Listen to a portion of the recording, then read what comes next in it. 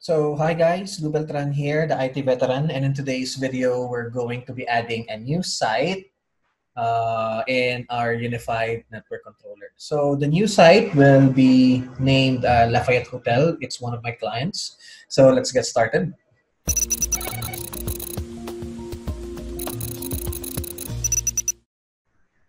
So in order for us to add a new site, we just need to go here at the upper right hand corner of the UniFi Network Controller dashboard. And if you click that one, you have an option to add a new site. So you can also do a site overview for all of the sites that you have in your UniFi Controller. But since this uh, hotel is a new deployment for my uh, uh, project, we'll be creating a new site. So just click on new site here, then just put the name, La Lafayette Hotel. Then just click on submit. And that will create a new dashboard specifically for Lafayette. So as you can see, um, it already has pre uh, pre-configured everything. Um, there's no devices. Um, inside client, it, it has its own dashboard basically. Okay, so if we go to settings, um, you can use the new beta settings for the UniFi. Um, but I'm more comfortable as of the moment in using the classic mode.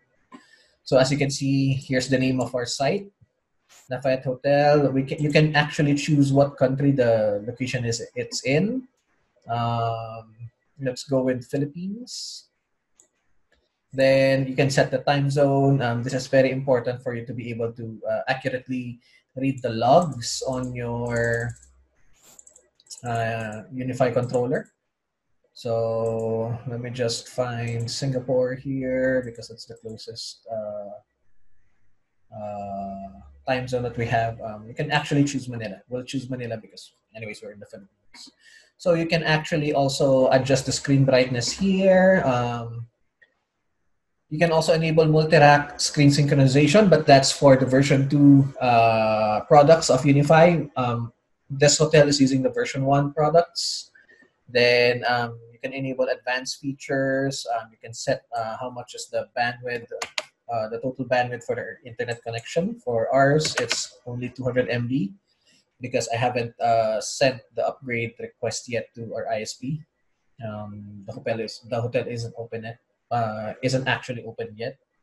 So you can also send alert emails going to your uh, Ubiquiti account. So um, I also like to enable advanced features uh, this unlocks uh, advanced features for all of the options here for your UniFi controller for this site. Um, I like that turned on. Then you can also take uh, automatically upgrade device firmware if your uh, devices would, uh, if UniFi releases new firmwares for each of their products, the, your system will automatically upgrade to that one. But um, as you know, in the IT world, that, that is not really a good practice because you have to test first new firmwares before you uh, implement it in your uh, project site. So I like to turn that off and um, you can also enable remote syslog servers and NetConsole logging servers here, but uh, since this is a new deployment, we haven't set up any, anything of those yet.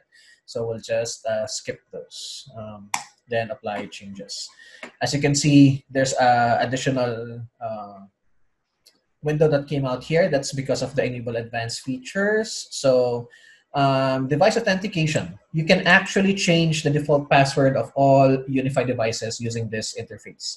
So whenever um, a new device registers to this site, uh, Lafayette Hotel, it's going to adopt the new login and password for your uh, devices. So I, I highly recommend you change this one and that's it. Um, that's how you set up the, your UniFi network controller.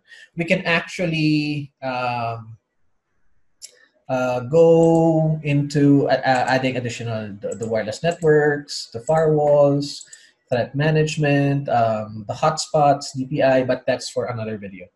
So that's it, fellow IT engineers, for this uh, uh YouTube uh, video, and I'll see you in the next one. Thank you.